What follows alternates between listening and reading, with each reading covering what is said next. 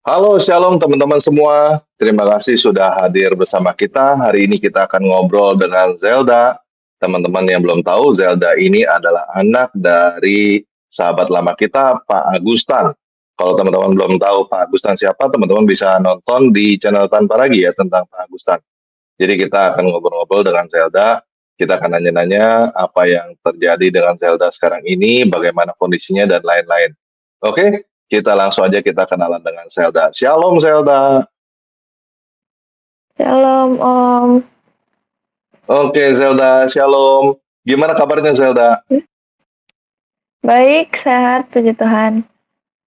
Oke, pertama saya mau ucapkan turut berduka ya untuk papa kamu Zelda. Ya. Uh, kondisi sekarang gimana? Apakah kamu sudah bisa terima atau bagaimana gitu? Atau masih ada terasa gimana? Udah bisa terima, cuman kalau keinget-keinget ya sedih mah ada, cuman ya enggak yang itu sedih banget gitu, enggak karena kayak ya udahlah udah terima gitu. Oke. Uh, jadi sebelumnya sorry juga nih karena ini mungkin akan mengingat-ingat luka lama atau gimana gitu ya. Uh, boleh tahu kan sebenarnya kenapa sih papa kamu itu sakit apa gitu? Papa itu sebelumnya sakit jantung. Sakit jantung, Oh. terus kan, uh, emang punya kolesterol juga. Nah, terus, uh, karena selesai operasi papa tuh kerjanya terlalu berat, terus akhirnya papa jatuh stroke. Yang harusnya papa nggak boleh kerja berat-berat gitu.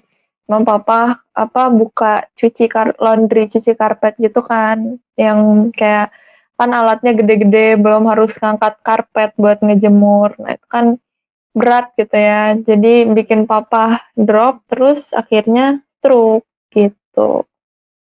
Hmm, oke. Oke. Uh, mungkin boleh diceritain sebenarnya kita nih banyak yang penasaran gitu. Sebenarnya Pak papa kamu tuh kenapa sih mualaf? Kalau boleh tahu dari versi kamu yang kamu tahu tuh gimana ceritanya? Uh, dari versi aku ya, uh, kan sebelum ini tuh papa udah pernah mualaf kan. Sebelum ini papa udah pernah mualaf waktu adek aku masih kecil, waktu mau lahiran, akhirnya papa balik lagi ke apa, ke Kristen lagi. Karena kayak, uh, mama tuh ngasih tahu gitu ke papa kayak, "Kasihan ini anaknya masih kecil, masa, uh, orang tuanya beda agama," gitu kan akhirnya kembali lagi lah papa ke Kristen. Terus uh, setelah itu akhirnya uh, aku tuh pisah rumah sama papa. Jadi berantem berantem mama papa tuh berantem soal ekonomi. Nah, di situ akhirnya uh, mama cari kerja keluar pulau, uh, ngurusin bisnisnya mama. Papa juga pergi, uh, papa misah rumah gitu sama aku. Dan akhirnya aku dititipin di rumah uh, kakaknya mama di om tante. Nah, terus di situ tiba-tiba nggak lama dari situ uh, dengar berita kabar dari Facebook rame kalau papa itu apa mualaf lagi. Nah, yang yang aku dengar-dengar itu tuh uh, mungkin ini bisa disensor aja ya nama gerejanya, aku juga rada takut soalnya. Jadi, uh, hmm. apa namanya, awalnya tuh, uh, papa tuh kan, uh, sekolah pendeta gitu eh, sekolah Alkitab di GPPS kan. Sekolah Alkitab hmm. di GPPS, terus, uh, ngedapet perlakuan yang nggak enak dari GPPS, akhirnya papa sakit hati. Nah, dari situlah itu pertama kali akhirnya papa pindah ke Bandung, terus nggak lama akhirnya papa mualaf, terus balik lagi. Nah, setelah balik lagi, itu tuh hatinya tuh belum 100% pulih gitu. Jadi kayak masih menyimpan sakit hati ke GPPS gitu, ke gereja itu. Hmm. Karena waktu itu papa tuh diusir. Jadi papa diusir dari uh, sekolah Alkitabnya ini terus akhirnya uh, ya itu akhirnya papa sakit hati sama agama Kristen jadi ke bukan bukan ke orangnya tapi akhirnya papa sakit hatinya tuh ke agama Kristennya Nah, yang terakhir Hmm. ini pas papa mau pindah, papa tuh uh, awalnya ngomong papa lebih milih buat ateis aja. Milih buat ateis aja, akhirnya tapi pada akhirnya ditarik karena dulu kan papa ikut uh, apa ngegojek ngegrab gitu. Nah, ternyata di situ tuh ada komunitasnya lagi. Ditariklah papa ke muslim. Jadi akhirnya papa masuk tetap masuk ke muslim cuman ya dengan sakit hatinya papa makanya papa bikin kontennya tuh kayak yang menyenggol-nyenggol agama kita gitu.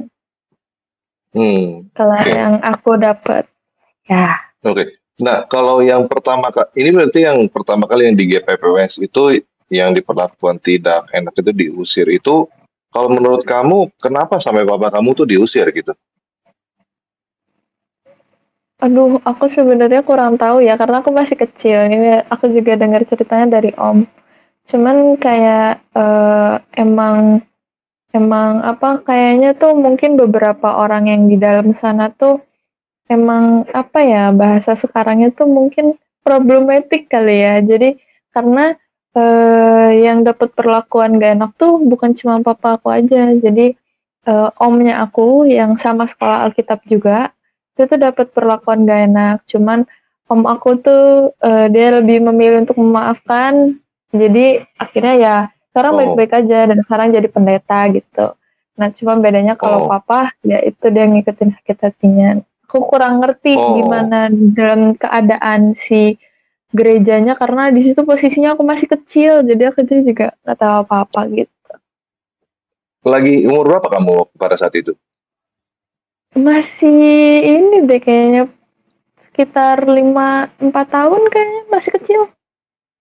Oh, nah 45 itu diusirnya iya itu diusirnya pas aku umur segitu juga. Makanya di situ kayak papa ngerasa sakit hati banget kayak nggak kasihan gitu sama aku yang masih kecil main diusir-usir aja dari tempat itu gitu makanya Hmm. Pada saat itu berarti papa kamu sebagai eh, melayani di gereja gitu ya? Dikasih Iya, tempat segala di macam di gereja. Oke, Mm-mm. melayani di gereja, terus entah kenapa diperlakukan tidak baik, terus diusir, terus begitu papa kamu sakit hati, terus mualaf gitu, masuk Islam gitu ya? iya iya Oke. Eh, pada saat itu mama kamu gimana reaksinya? Nggak ingat mama kamu ya mungkin? Iya, aku kurang inget sih. Cuman kalau mama itu, mama tuh bagi aku orang tersabar di dunia ini gitu ya. Kalau mama dia orangnya tuh pasti lebih milih memaafkan terus karena mama orangnya tuh sabar banget. Jadi aku yakin mungkin pada saat itu juga pasti mama sakit hati karena diusir juga kan. Cuman kalau mama dia tetap berpegang teguh pada imannya dan lebih memilih untuk meng- mengampuni gitu. Hmm, oke. Sayang kita nggak tahu ya masalahnya apa ya. Oke. Iya. Terus eh, pada saat itu mama kamu juga ikut kerja atau enggak? pada saat apa ya mama mama kerja Lagi sih di gereja itu kerja. oh mama di gereja itu mama kerja sama eh, ikut pelayanan juga ikut pelayanan juga. iya Oke. Terus eh, setelah diusir gitu, terus kalian ke mana? Itu di di kota apa berarti? aduh kayaknya kalau nggak salah di antara di Sumbawa sama di Jawa Tengah Jawa Tengah apa Surabaya ya pokoknya antara itu Hmm. sih Hmm, di situ terus diusir akhirnya eh, pindahlah ke Bandung kalau nggak salah. Karena waktu ke Bandung juga aku masih kecil juga. Ya kayaknya dari situ pindah ke Bandung. Hmm. Pindah ke Bandung terus papa kamu kerja atau bagaimana? Ada saudara di Papa- Bandung? ada. Om tante aku itu saudara dari mama. Hmm. terus eh, papa lanjut kerja di sini. Eh, kerja di buah batu nah di situ tuh ada apa ya dulu ada bosnya panggilannya om botak. Nah itu aku lupa namanya. Itu tuh eh, aku lupa namanya karena masih kecil. Cuman orang-orang manggilnya om botak. Dia itu salah satu tokoh agamis juga di agama sebelah. Dan dia pernah Hmm. masuk TV dia pernah masuk TV nah itu juga yang narik papa buat mualaf gitu. Tapi setelah itu papa keluar dari pekerjaan itu, terus papanya juga balik lagi ke Kristen gitu. Terus ganti kerjaan. Oh, oke. Hmm. Oke, eh, keluar dari situ ke Kristen lagi, itu masih belum bisa sama mama kamu ya? Belum, belum bisa. Oke. Terus eh, ke Kristen lagi itu kerja apa setelah itu tahu nggak? Eh, setelah itu papa kerja jualan roda-roda buat troli gitu, sama eh, jualan sabun, sabun buat eh, pakaian gitu-gitu. Hmm. Waktu itu usia Hmm. kamu berapa tuh? Itu aku udah SD sih. Sudah SD. Iya, Berarti cukup lama juga ya? Cukup lama juga Iya. balik ke Kristen lagi, cukup lama juga gitu ya. Terus iya. eh oke. Terus pisah sama mama kamu dulu baru mualaf lagi atau mualaf lagi dulu baru pisah sama mama kamu? Mualaf lagi dulu, baru pisah sama mama. Mualaf lagi dulu. Iya, Oke. Eh, oh iya yang yang adik kamu lahir itu ya. iya. Yang Nah, kali ini kenapa itu bapak kamu bisa mualaf lagi tuh? eh kalau kataku karena itu ditarik sama komunitas. Komunitas Ditarik yang ada di komunitas. ya, komunitas yang ada di Gojek Gojek itu, di Gojek, di Grab. Karena awalnya papa lebih milih buat ateis gitu kan. Terus Hmm. tiba-tiba eh, udah mualaf. Jadi ikut ke komunitas sih. Waktu itu juga papa ceritanya ketemu sama temennya yang ada di Gojek, ditariklah ke agama sebelah gitu. Hmm. Ya, saya waktu itu sempat ngelihat ya video papa kamu lagi mendoakan kakek kamu sepertinya ya. Kakek kamu lagi sakit itu masih didoakan secara Kristen itu. Iya, Betul ya? iya. Betul. Itu Ada aku kok di situ. Oh gitu, itu Kristen banget itu kelihatan dari apa? Dari cara Iya. doanya segala macam. Oke. Kalau dari sifat atau dari karakter apakah ada perubahan papa kamu ketika di Kristen dan di Islam? eh dibilang ada perubahan sebenarnya eh, mungkin ada dari Kristen ke Islam, cuman bukan perubahan yang spesifik itu sih enggak. Cuman lebih ke karena mungkin sakit juga, jadi kayak kalau dulu kan sering banget marah-marah, sering marah-marah, temperamennya tuh susah diatur. Nah, sekarang itu berkurang karena mungkin itu juga karena apa sakit jantungnya kan. Karena kalau misalnya marah-marah tuh bikin apa ngos-ngosan kalau sakit jantung. Jadi berkurangnya sih karena itu sama eh, apa ya kadang karena bikin konten jadi kelihatannya kayak nggak marah-marah gitu. Ya, Hmm. wah. ya di belakang kameranya ya gitu. Ya sesuai lah. Ma- Gimana maksudnya nggak sesuai gimana? Iya, jadi kayak kan kalau misalnya di konten-konten yang kayak eh, apa di Ayah Sofia kan kayak kesannya tuh kayak apa akunnya juga mau gak mau ikut ngeyain kan kayak papa ngomong eh, keluarganya baik eh, hubungan anak sama istrinya baik gitu-gitu tapi kan kenyataannya tuh nggak sesuai cuman karena buat konten jadi kayak ya udah iya iya aja gitu Hmm, ya, ya ngerti. Di konten mesti tampil strong ya, mesti tampil kuat gitu ya. iya Di belakangnya nggak begitu. Iya, oke. Mm-mm. Terus kalau sering marah-marahnya itu sejak kapan itu bapak kamu? Apakah memang dari kecil tabiatnya suka marah-marah atau belakangan ini atau atau gimana? Dari aku kecil juga udah suka marah-marah. Oh, Oke, dari kecil. Ya. Ya, saya juga pernah dengar sih dulu kayaknya dia kepahitan lagi masih kecil, lagi lagi papa kamu masih kecil. Pernah tuh saya dengar videonya ya dia bilang dia kepahitan sama eh, kakaknya karena angpaunya diambil. Itu Iya. saya pernah dengar itu. Itu benar ya? Iya.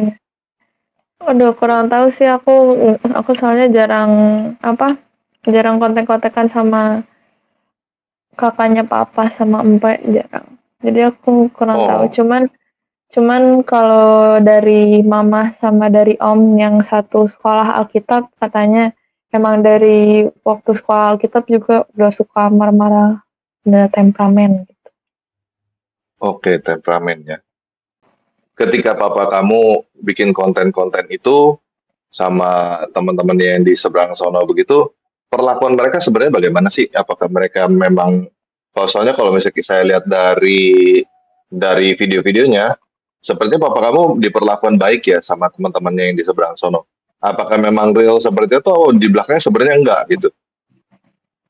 Misalnya kemarin itu kan dilihat tuh dika- langsung dikasih getepok, dikasih duit langsung gitu. Kan ada tuh. Apakah memang Hmm. begitu atau sebenarnya enggak atau gimana? Aduh, gimana ya? Eh sebenarnya kalau dari pandangan aku sih apa ya? Ya, dibilang baik ya mungkin karena satu komunitas, satu tujuan juga kali ya. Jadi baik cuman kayak apa ya? Beberapa kali juga kadang aku dengar kayak ya obrolan yang mereka lagi obrolin apa ya itu kayak bermuka dua gitu deh. Jadi kayak ya kalau di depan ya kita berusaha buat baik gitu, tapi kalau di belakangnya enggak. ya kayak saling ngomongin juga. Jadi tapi kalau ketemu kayak gitu tuh kayak yang emang kayak yang asik, baik, gini-gini. Cuman kayak waktu aku udah sengaja denger papa lagi ngobrol sama yang lain tuh kayak ya ngomongin juga yang lain gitu. Jadi kayaknya nggak Hmm, hmm, hmm. sesuai sih sama apa yang di kamera gitu ya. Hmm, Oke. Iya. Nah, eh, dari pengalaman hidup papa kamu, apa yang kamu pelajari? Apa yang menjadi Yang aku kesimpulan kamu? jangan menanamkan sakit hati kepada orang atau siapa pun itu karena kita harus belajar mengampuni sama seperti Tuhan yang mengampuni kita yang udah berdosa. Ya itu aja sih yang aku tangkap Hmm, hmm. yang Oke. aku dapat Oke, sekarang kondisi kamu gimana? Kamu sekolah, eh, sekolahnya apakah ada masalah? Soalnya kan eh, pembiayaan sekolah ini kan juga butuh biaya ya. Kamu gimana sekolahnya? Apakah dibiayain oleh siapa Iya. gitu?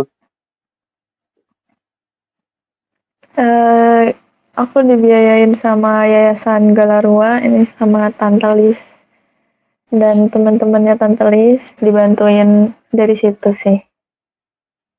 Oh, selama ini kamu dibantu sama Galarua?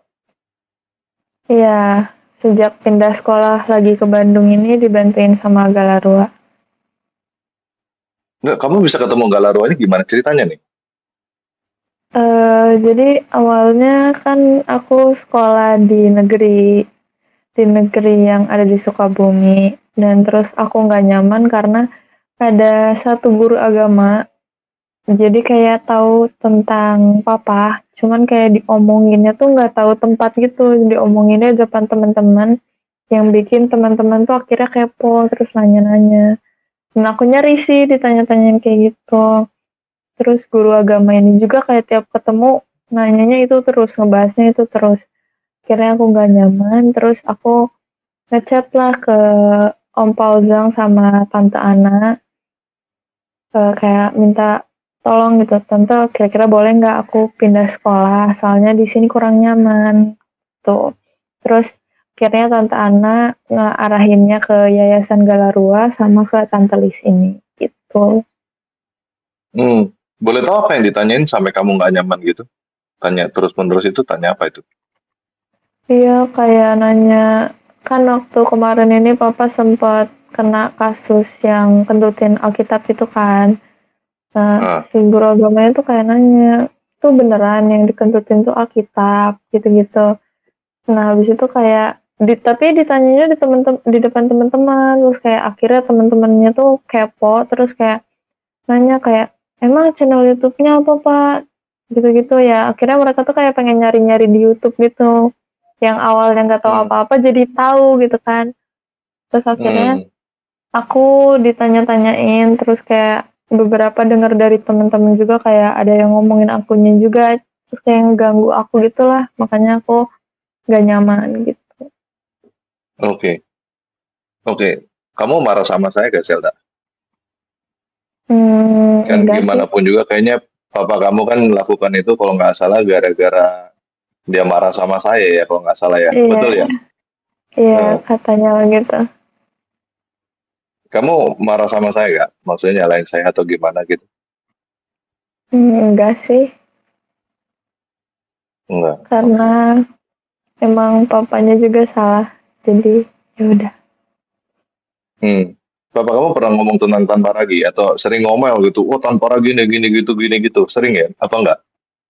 eh lebih ke temen-temennya sih ke temen-temennya kayak Ya, saya saya marah besar karena kemarin ini video tanpa ragi itu buat saya emosi naik darah banget, paling gitu. Tapi ke teman-temannya, kalau ke aku tuh gak pernah ngebahas kayak gitu tuh nggak pernah. Paling kayak paling kayak apa apa lebih ke sedih aja sih karena keadaannya sekarang tuh waktu itu tuh kayak udah nggak berdaya, udah nggak bisa apa-apa. Jadi nggak ada ngomongin tanpa ragi gitu nggak. Hmm, oke. Terus eh, itu apa? Terakhir-terakhir saya pernah dengar dari papa kamu ada ngomong sama teman-temannya bahwa kamu diperlakukan tidak baik di sebuah gereja, eh, diperlakukan Hmm. tidak senonoh gitu. Itu benar nggak? Apa enggak? Hmm, nggak benar. Enggak benar. Nggak benar karena eh, apa namanya waktu itu tuh apa eh, posisinya kan aku lagi sering berantem sama papa.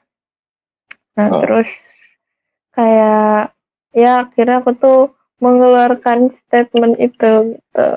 Yang aku pikir kayak bakalan eh, apa bakalan bikin papa lebih ngerti aku ternyata enggak salah terus akhirnya malah ke mana-mana terus sampai bawa-bawa ke temennya segala macam ya gitu deh sampai manggil-manggil pengacara terus maksa aku buat jujur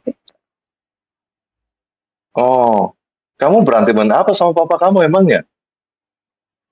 Eh, berantem soal jadi kan apa di rumah tuh kan pada sakit semua istrinya papa Hmm. yang baru juga sakit kan sakit Hmm. eh, kanker papa juga stroke nah dari posisi itu aku sekolah.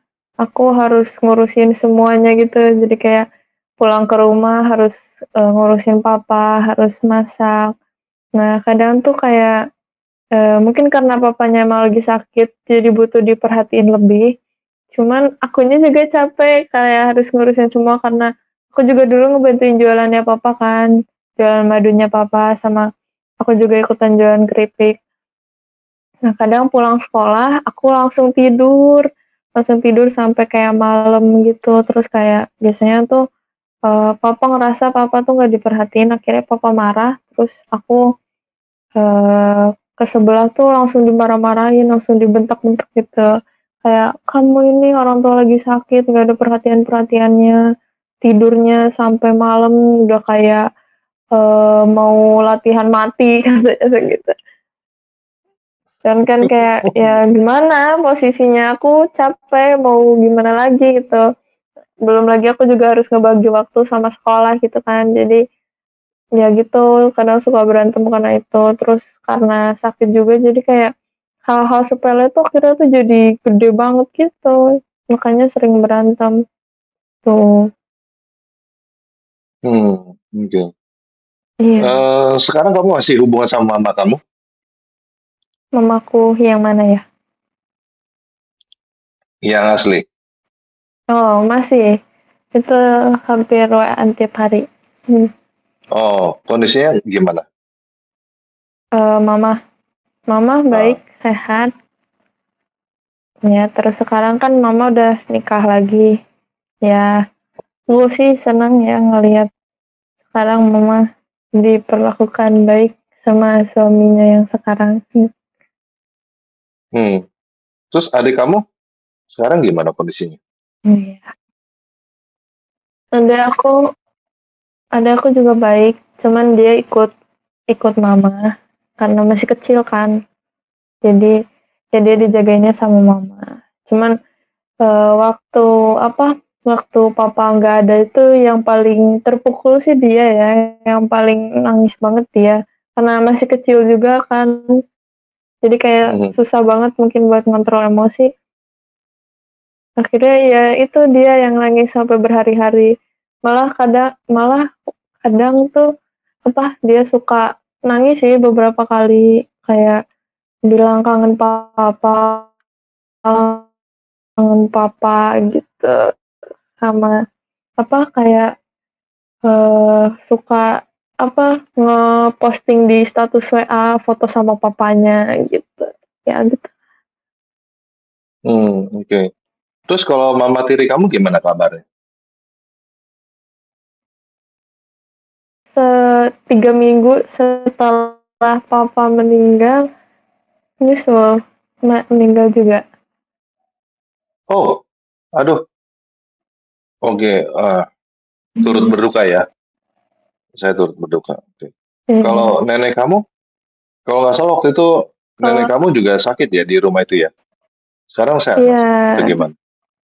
Sekarang udah diurusin sama kakaknya papa, jadi sekarang sih udah lebih lebih baik. Cuman ya karena emang udah um, berumur juga, jadi ya emang udah nggak bisa ngapa-ngapain sih. Cuma bisa di kasur. Cuman lebih keurus lah sekarang mah karena waktu kemarin kan pada sakit semua jadi kayak kadang kadang bukan gak keurus kayak apa ya yang ngebagi waktu buat ngurusin satu-satunya susah cuman kan sekarang kayak udah ada satu orang yang ngurusin terus jadi sekarang udah baik.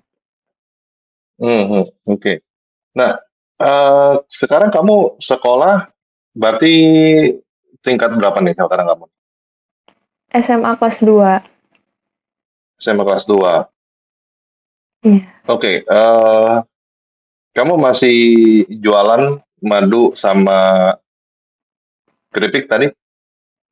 Enggak, karena waktu itu mau ngelanjutin, cuman dari pihak keluarga istrinya papa yang baru sama temennya kayak apa sih, di mereka tuh kan kayak kalau misalnya gak seagama tuh nggak boleh dapetin apa-apa dari orang tuanya kan jadi kayak mereka nggak ngasih barang-barangnya jadi nggak aku ambil gitu jadi nggak bisa ngelanjutin hmm. juga oke okay. dulu cara kamu jualan madu sama keripik gimana maksudnya kamu jalan keliling atau gimana buka toko Enggak, jualan apa? dari YouTube YouTube-nya papa sama buka di Shopee oh oke okay. online berarti ya jualan iya, online. online kamu kirim-kirimin, bantuin kirim-kirimin gitu ya?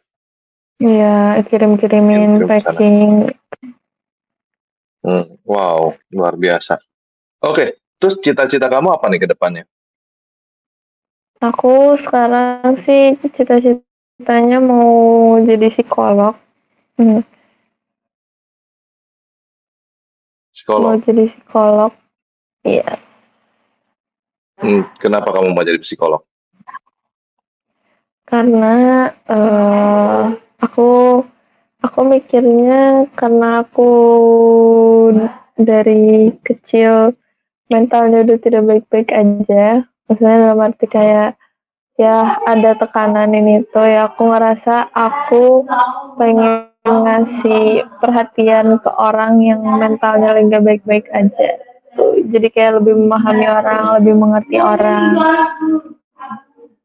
Oke, okay, mungkin untuk teman-teman yang lagi nonton, kalau mau dukung Zelda dalam sekolahnya, studinya, juga dalam kehidupannya juga, mungkin teman-teman bisa kirim pemberian kasih melalui Yayasan Galarua ya.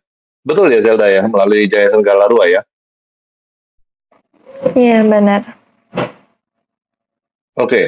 nah ini nomor rekening Galaruanya sudah ada di bawah ya, sudah saya uh, tampilkan BCA 450068000 atas nama Yayasan Galarua Nusantara Abadi, kode transfernya 03. Ini maksudnya kode transfer 03 gimana nih Bu Lisoy? Shalom Bu Lisoy. Sorry deh tadi dicuekin. Halo Om. Shalom Pak TR. Jelas nggak suara Halo. saya Pak? Halo. Jelas? Ya jelas Bu. Oke. Soalnya lagi uh, apa uh, jam-jam segini kan biasanya ada krisis di tempat saya. Tapi jelas Hmm. ya. Uh, Hmm. Oke. Uh, benar, ini adalah rekeningnya Yayasan Galarua ya, Yayasan Galarua Nusantara Abadi. Kode transfer untuk kita support sekolahnya Je- uh, Zelda itu dengan 03 ya, khusus untuk beasiswa karena beasiswa yang yang disupport oleh Galarua saat ini masih dengan uh, kode eh dengan nama Zelda ya. Oke. Maksudnya eh, kode transfer 03 ini gimana? Di Misalnya, Misalnya di transfer di belakangnya ada 03-nya gitu.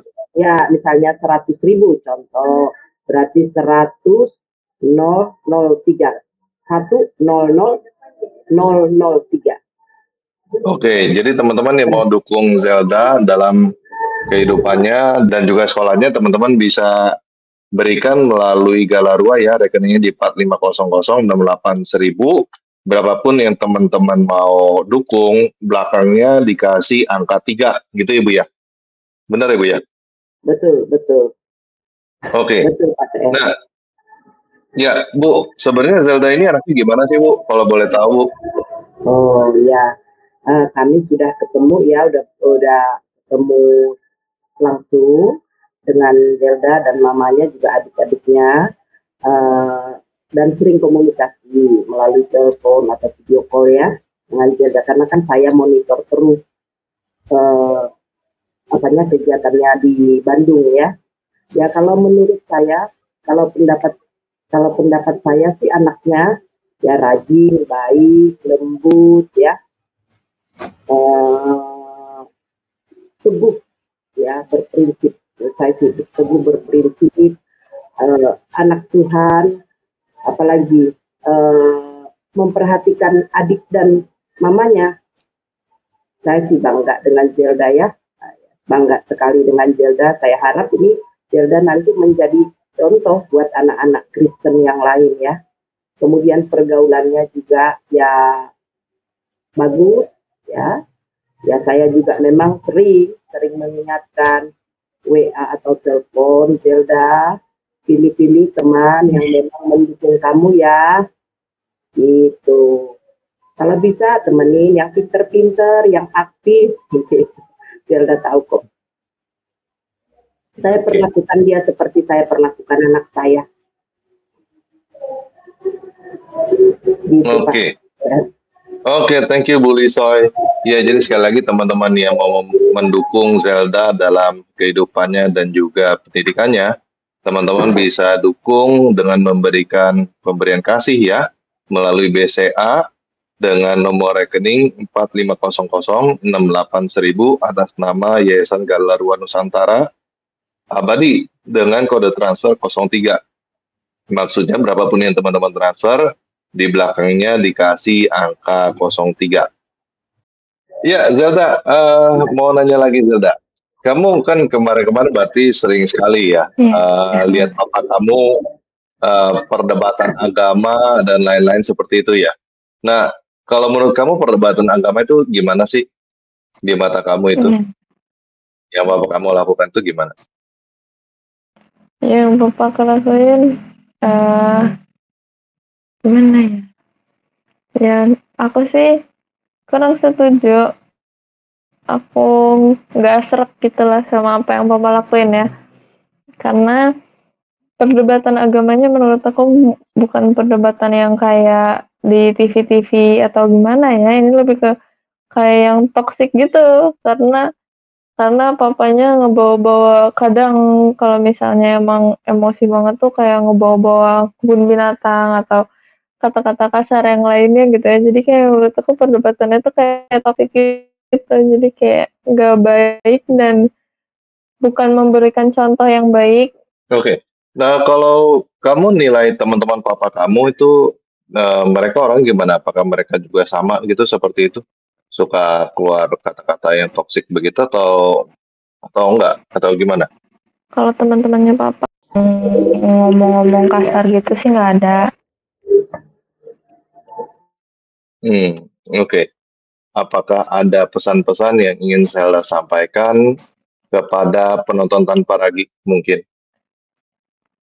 Uh, mungkin apa ya? Aku juga bingung sih sebenarnya mau nyampein apa. Ya mungkin uh, belajar dari ke kasus papaku kita nggak boleh menyimpan sakit hati ke orang atau ke siapa pun itu karena uh, sakit hati kita tuh akan terbalaskan dengan hal yang baik-baik karena Tuhan itu pasti sudah merencanakan semuanya untuk kita. Jadi kayak kita juga harus belajar untuk mengampuni mengasihi orang karena waktu di akhir-akhir sebelum papa meninggal juga papa papa menyesalkan perbuatannya dan papa bilang kayak e, kamu kalau punya sakit hati sama orang punya uh, rasa benci sama orang kamu buang itu jauh-jauh. Kamu harus bisa mengampuni. Oh, paling itu aja sih. Oh terakhir papa kamu ngomong begitu? Iya. Oh oke okay, oke. okay. Oke, soalnya yang saya lihat itu ditampilkan terakhir papa kamu disuruhnya syahadat itu. Ini suatu informasi yang baru yang saya baru dengar gitu soalnya. Wow. Oke, ini suatu pembelajaran yang bagus sekali buat kita semua ya teman-teman ya. Jadi teman-teman kalau punya sakit hati kepada siapa pun juga itu, mau teman, mau saudara, mau musuh, mau siapa pun, buang teman-teman itu jangan disimpan. Itu sampah ya sampah itu jangan disimpan di hati, dibuang supaya bukan buat siapa-siapa, buat diri kamu sendiri, buat kita sendiri supaya kita hidupnya lebih baik.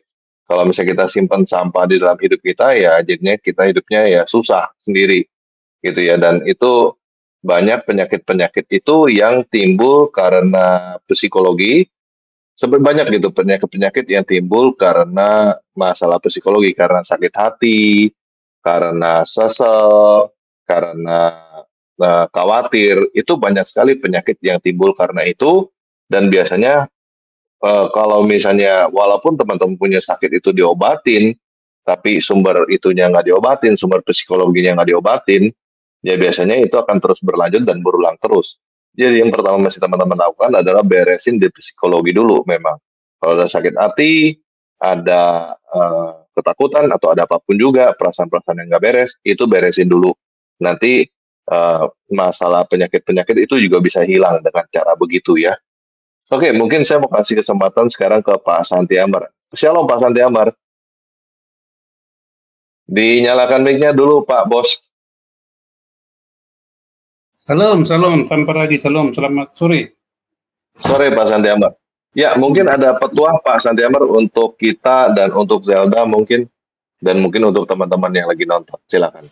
Ya, Petua sih enggak, saya malah banyak belajar dari Jelda ya, ini Jelda yang masih muda. Jelda kan sudah SLTA ya, kan gitu dengan kondisi begini kita sebagai orang tua hmm. banyak belajar dari keteguhan hati Jelda lah. Tetapi seteguh-teguhnya hmm. tentu juga ada uh, cita-cita uh, ya. Jelda kira-kira uh, dengan kondisi sekarang uh, cita-citanya pengen jadi apa dan bagaimana uh, harapannya untuk kebutuhan ke masa depannya gitu Zelda? Uh, kalau Zelda saat ini cita-citanya mau jadi psikolog. Uh, terus kalau buat kuliah dan lain-lain, uh, kemarin udah dibantu sama Om saya uh, pakai surat kematian orang tua karena apa karena apa pun nggak ada jadi uh, mau dibantu dari situ sama uh, mama juga emang sekarang lagi sambil nyiapin buat kuliahnya aku juga. Oke. Okay. Uh, eh, mama kan tinggal di ini ya di Sukabumi ya. Jadi dengan Jelda kan terpisah itu. Um, berapa orang lagi adik-adik Jelda yang harus diurus oleh mama dan papa eh, oleh mama? Ada dua. Ada dua lagi ya. Dua-duanya sekolah Jelda? Baru satu yang sekolah, yang satu yang kecil. Nah, um, apa harapan Jelda ke depan baik dari sesama yang mendengar YouTube YouTube ini juga dari yang lainnya gitu Jelda apa harapannya harapannya buat aku ya semoga aku bisa ngebanggain mama terutama papa karena dulu aku sempat berantem sama papa terus kayak aku bilang kayak ya aku mau buktiin ke papa kalau aku bisa gitu. Ya aku paling itu aja sih mau ngebuktiin ke papa kalau aku bisa dan gak sesuai sama apa yang papa omongin gitu. Itu aja sih. Uh, satu yang agak uh, pribadi ya, sama ya tapi nggak paling lebih lebih dekat sama uh, uh, Tilda Uh, ya. Waktu uh, ayah ya, saya dengar itu ayah itu ayahnya Jilda paling, paling sayang kepada Jilda ya.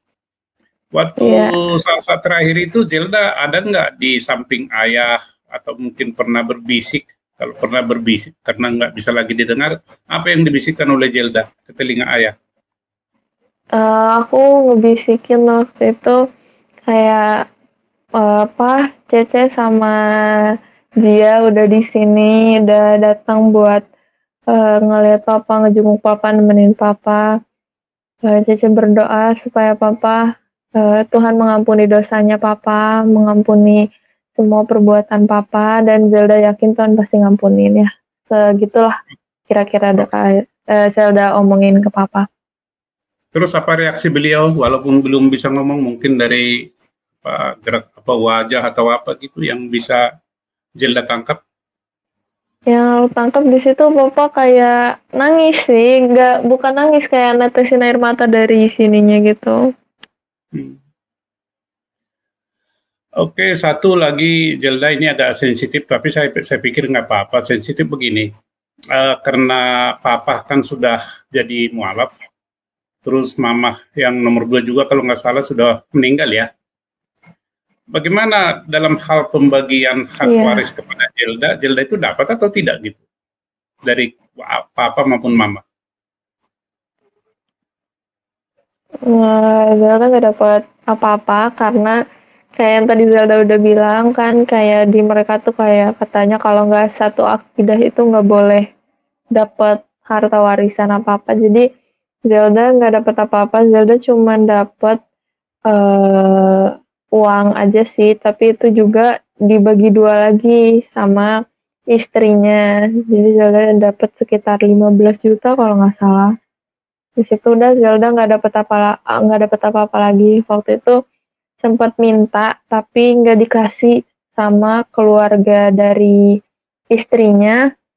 Uh, kayak ya gitu deh jadi mereka sekongkol gitu kesannya kayak biar aku nggak dapetin apa-apa dari papa gitu. Oke. Okay. Um, tadi Jelda bilang dapat dapat gitu ya. Uh, boleh tahu nggak jumlahnya kira-kira berapa? Jumlah? Iya, aku aku dapat 15 juta. Itu hmm. dari rekeningnya tuh yang isinya tuh 30 lebih gitu. Tuh dibagi dua. Uh, habis itu, tapi itu nggak seluruhnya dikasih 15 juta langsung, ditahan dulu, jadi kayak cuma dikirimin 10 juta doang. 5 jutanya lagi tuh ditahan katanya buat ngelunasin utangnya papa gitu. Oh, jadi bersihnya 10 juta ya? Iya. Hmm, kalau mama mamanya Jelda dapat nggak gitu dari pak uh, dari ayahnya Jelda? Atau itu hmm. jangan-jangan hmm. untuk mamanya Jelda? Maksud saya mama Enggak. yang ini yang uh, yang oh, pertama. Yang uh, harusnya nggak dapat. Nggak dapat ya? Harusnya nggak dapat karena uh, waktu itu tuh uh, sebenarnya papa tuh udah nyiapin uang kuliah buat aku.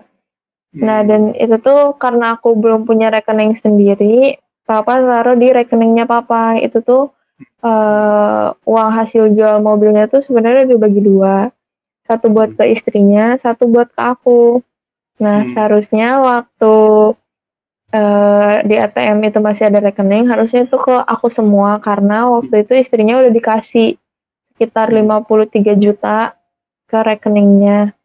Tapi ya itu karena papa tuh gak ninggalin waris uh, tulisan surat wasiat atau apa gitu, akhirnya ya temennya tuh ya pasti lebih berpihak kepada istrinya gitu ya. Jadi akhirnya aku dapatnya cuma sedikit aja segitu doang. Oke. Jadi waktu papa sebentar, meninggal sebentar. itu ya. sebentar saya masih saya masih nggak ngerti nih uh, ketika papa kamu meninggal rekening itu dipegang oleh siapa rekeningnya dipegang sama temannya. Sama temannya? Kok bisa? Iya. Kok bisa gitu ya? Karena waktu waktu waktu papa dibawa ke rumah sakit, tasnya sama HP-nya itu dibawa sama temennya gitu. Makanya bisa ada di temennya. Oh, berarti Kam, uh, papa kamu ke rumah sakit diurusin sama teman-temannya? Iya, karena posisinya aku lagi di Sukabumi. Oke. Okay. Uh, yang bayarin biaya rumah sakit siapa? Itu kayaknya antara BPJS, yayasan atau enggak pakai uang yang ada di rekeningnya papa itu. Cuman kayaknya enggak pakai uang di rekeningnya papa karena enggak ada yang tahu kodenya kecuali aku gitu. Hmm. Jadi kemungkinannya okay. sih uang dari yayasannya papa.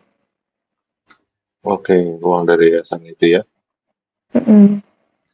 Jilda, um, pernah nggak dengar atau ya setidak-tidaknya mungkin pernah dengar entah dari siapa Galarua pernah dua kali ke rumah papa di Bandung. Memang kita tidak ketemu Zelda ya uh, hmm. mengantarkan donasi dari Galarua, tetapi uh, kita tidak diterima. Kira-kira Jelda tahu nggak uh, ceritanya kenapa Galarua tidak diterima? Saya sih tidak, kita sih tidak ketemu dengan ayahnya Zelda ya, tetapi dengan mama yeah. tirinya. Ada dengar nggak cerita itu dan kenapa ditolak gitu Zelda? Iya, aku dengar ceritanya. Ya hmm. itu ditolak karena uh, apa? Posisinya tuh di situ tuh uh, Kohani sama teman-temannya tuh sering ke rumah gitu. Nah, papa tuh takut uh, hmm. apa antara pihak Galarua sama pihaknya Kohani tuh ketemu terus akhirnya papa yang kena karena papa tuh karena posisinya udah gak berdaya jadi papa tuh akhirnya tuh takut gitu sama teman-temannya juga buat ngapa-ngapain kan akhirnya papa lebih milih buat uh, nggak ngebukain pintu buat pihak Galarua sama kayak bilangnya papa udah nggak ada di rumah lagi nggak ada di rumah gitu hanya ditolak. Oke. Okay. Uh, eh, dari saya gitu aja Jelda. Um, saya yakin Jelda uh, mencapai cita-citanya dan yakinlah ketika Jelda yakin tidak mau uh, meninggalkan Tuhan, Tuhan juga tidak akan meninggalkan Jelda. Jadi saya juga berharap kepada teman-teman kita, mari kita dukung Jelda karena kami dari Galarua sudah jumpa dengan Jelda ini dan kami tahu persis lah artinya karakter dia. Dan dia multi talent ini ya. Jelda ini orangnya tinggi, cantik dan uh, bisa main musik kalau nggak salah ini ya. Jadi mudah-mudahan Jelda nanti di sekolah di sana itu menjadi uh, the best gitu ya. Kalau menjadi the best tentunya jalan akan terbuka lebar. Tapi yakinlah Tuhan tidak meninggalkan Jelda. Itu aja dari saya Pak Tamparagi. Terima kasih Pak. Oke, okay, thank you Pak Santi Ambat. Zelda tadi ada bicara papa kamu takut sama teman-teman ya? Maksudnya gimana tuh? Apa yang papa kamu takut sama teman-temannya? Jadi uh, apa? Karena awal-awalnya itu kan waktu berita tentang papa kantutin Alkitab itu kan lagi rame-ramenya kan. Dari situ kayak teman-temannya tuh akhirnya tuh hmm. sering ke rumah. Dari situ sering ke rumah. Ada beberapa yang kayak negur papa gitu. Nah, waktu papa nelpon Om Polzang, nah di situ tuh kan uh, apa ada istrinya juga, ada istri yang satunya itu. Nah di situ tuh uh, apa namanya kayak orang eh orang istri ini juga kurang setuju kalau papa nelponin pendeta gitu buat minta pertolongan. Nah terus uh, teman-temannya tuh akhirnya makin sering ke rumah terus kayak ngasih dana apa segala macam.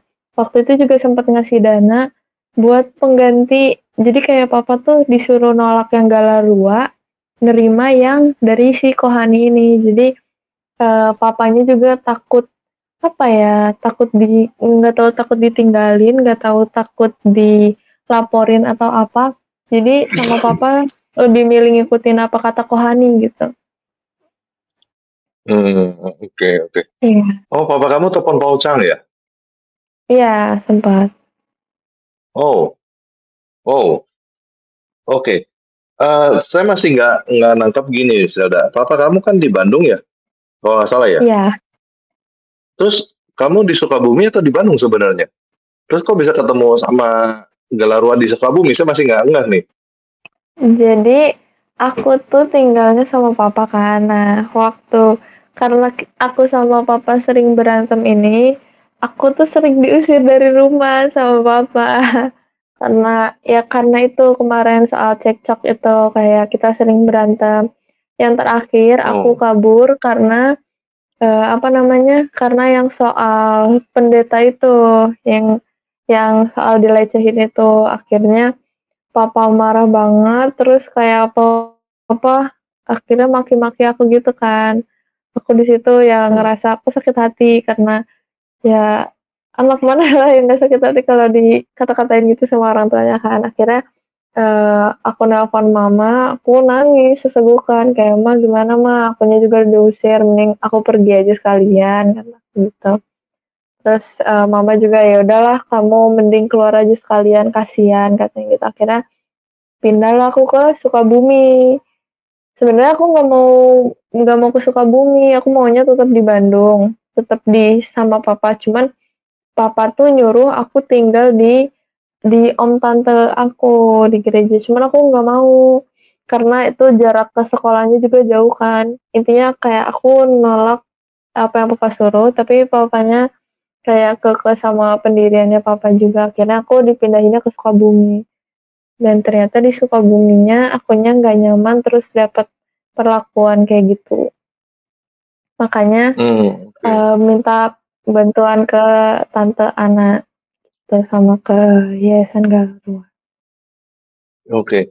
Nah, eh, boleh ini yang terakhir mungkin ya Zelda ya. Mengenai pelecehan itu mungkin bisa diklarifikasi Zelda. Itu sebenarnya gimana sih maksudnya?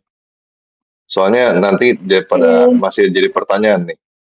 Hmm. Ya, jadi waktu itu kan apa namanya aku disuruh ikut yang om tante itu tadi. Nah, cuman aku gak mau. Aku bilang "Eh, aku gak mau ikut om tante. Kira kayak aku ngeluarin ngeluarin statement itu kayak eh, aku dilecehin apa segala macam. Eh, yang aku pikir kayak papa bakalan lebih milih aku buat tetap tinggal sama papa gitu kan. Ternyata sama papa malah dilaporin terus kayak diomong-omongin ke temen-temennya. Di situ ya aku emang salah karena aku udah ngeluarin statement kayak gitu kan. Cuman kayak eh, aku berharapnya tuh papa tetap nyuruh aku tuh tinggalnya sama papa gitu, tetap di Bandung. Nah, terus kayak papa malah ngasih pilihannya suruh ikut mama atau ikut ke om tante ini, cuman aku nggak mau gitu. Jadi ya nggak benar, cuman kayak sama papa diomong-omongin ke temen-temennya, yang akhirnya temen-temennya yang emang ini juga kan kayak wah ada bahan gitu, ya akhirnya mereka ngedukung apa yang papa ini akhirnya sampai dilaporin ke polisi buat jadiin Hmm. kasus sampai manggil pengacara. Oke. Oke, berarti kamu bohong nih ceritanya nih. Kamu bohong Iya. supaya supaya nggak kamu nggak di gereja itu, nggak dipindahin. Nggak Terus katanya papa kamu sangka itu beneran gitu. Dan itu Mm-mm. dikasusin sama papa kamu gitu ya. Iya, Oke, kamu nyesal gak itu? Nyesel. Nyesel karena ternyata aku nggak nyangka bakalan separah itu gitu sampai akunya juga harus bolak-balik Bandung Sukabumi buat ngeinin ke poli ke kepolisian gitu kan. Ya nyesel sih, nyesel karena itu juga jadi berantem. Oh, nyesel. oh kamu sampai ke pol ke kepolisian juga, bikin laporan juga. Aku ke kepolisian buat nyambut laporannya. Oh, buat nabut laporan. Iya. kamu kan masih di bawah umur ya pada saat itu ya harusnya? Bisa begitu ya? masih umur. Iya. Oke, itu ada pelajaran lagi di situ ya, jangan lakukan itu lagi ya, Zelda ya. Iya, betul sekali. Oke, ya, oke. eh, jadi klarifikasi terakhir itu ya. Jadi yang pelecehan itu tidak ada, tapi karena Zelda ngerasa nggak mau di gereja itu, jadi berbohong kepada eh, Pak Agus, dan Pak Agus itu nganggap itu beneran, makanya dilaporin. Dan ternyata itu Iya. nggak benar, dan itu laporan sudah dicabut ya.